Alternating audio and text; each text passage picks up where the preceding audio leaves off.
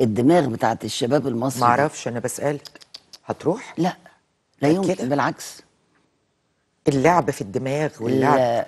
الشخصية المصرية آه. مع الأزمة الاقتصادية مع مع لا. ده مش هيغير الشخصية في أكتر من المجاعه بتاعت المستنصر اتغير الشعب المصري ما اتغيرش هو اللي يقرأ التاريخ.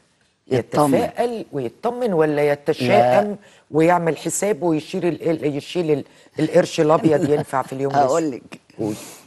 المستنصر ده. كان قاعد في القصرين اللي هم مش في حتة اسمها بين القصرين في أيوة. القاهرة آه طبعا. قاعد في القصر الكبير القصر الكبير ده كان يوصل حتى اسم من أسماء الثلاثية أيوة، بين القصرين بين نعم، القصرين. نعم آخر القصر الكبير باب اللي هو حاليا مكان آه، مدفن الإمام الحسين. تمام. ده باب القصر اسمه باب الديلم. أيوه. شوف القصر بقى فين؟ آه. من عند تقريبا اسم الجمالية لغاية مدفن الحسين. آه لغاية المقام لغاية المقام. دلوقتي. آه ما هو دفنوه تحت باب الديلم ده وبعدين اتعمل له المقام. تمام. القصر كله كان بيبانه مطلية ذهب. مم. المجاعة وصلت إلى درجة إن الناس كحتت الذهب اللي على البيبان بضوافرها مم. في قصة شهيرة قوي عن واحدة ست كان معاها فلوس مم. فبعتت الخادم بتاعها كان في عربية فيها شويلة قمح مم. لغاية ما الولد خد الشوال بألف دينار يا خبر أبيض ده كان رقم مرعب أيوه أيوه ألف دينار لغاية ما وصل بيه كان معاه حبة قد كده. آه. الناس خطفت ووقع على الأرض بقت الناس تلمه بالتراب حاجة يعني مشهد بشع. آه.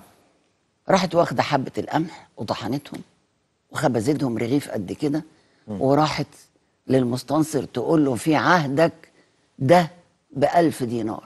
مم. وقفت له على الباب. أيوه. مش هتصدقي الأزمة دي خلصت في قد إيه. طبعا في ناس قالوا ولو إن ده مغالى فيه شوية إن الناس بدأت تاكل بعض ومش عارفة إيه الكلام ده. سيبك من ده ده صعب يعني. صعب مع المصريين. آه لكن ما فيش في التاريخ في ما فيش في التاريخ الحد بصي. هم قالوا يعني المقريزي يقول لك قالوا. المقريزي يقول قال مقريزي آه. إنما محدش أثبت بالدليل أثبت. يعني. آه. عنعنه يعني. آه, آه. فبيستجير بمين؟ بال بدر الجمالي. آه. مين المستنصر؟ آه. بعد الست ما راحت له برغيف. آه. خلاص بقى هو بيته اتنهب. بيجي بدر الجمالي ده يخش عليه القصر يلاقي القصر فاضي والراجل قاعد على سجادة. مين. الراجل اللي قاعد على السجاده المستنصر. مستنصر نفسه بيته نهبوه. أيوه. آه. في ظرف ست شهور البلد بتتعدل. تخيلي إزاي؟ إزاي؟ إزاي أقصد والناس كانت واصلة آه. لهذه الحالة؟ لأن السبب ما كانش جوع وما كانش قلة مية فيضان السبب كان فوضى. فوضى عاملها ثلاث أربع أنواع من العسكر. آه. بينهبوا الناس ويضربوهم وياخدوا اللي معاهم ويتخانقوا مع بعض آه. وينهبوا بيوت الخلق. حاجة فوضى قاتلة. مم. فالراجل بدر الجمالي جه. عمل مذبحتين كده على الماشي. تمام. في العسكر. آه. كله اتربى. نزل على الفلاحين قال لهم خمس سنين ازرعوا كلوا وبيعوا مفيش ضرايب تمام. ست أشهر البلد نورت واشتغلت والناس كلت. آه. ما فيها خير أيوة. بس هو إزاي لمين يطلع؟ إزاي يطلع؟ بالظبط. فلما تقري تلاقي نفسك مش خايفه مفيش حاجة تخوف على البلد دي. أسوأ الظروف وعدت.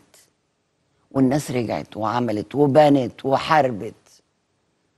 يعني مفيش أكتر من حملة فريزر والحملة الفرنسية وال...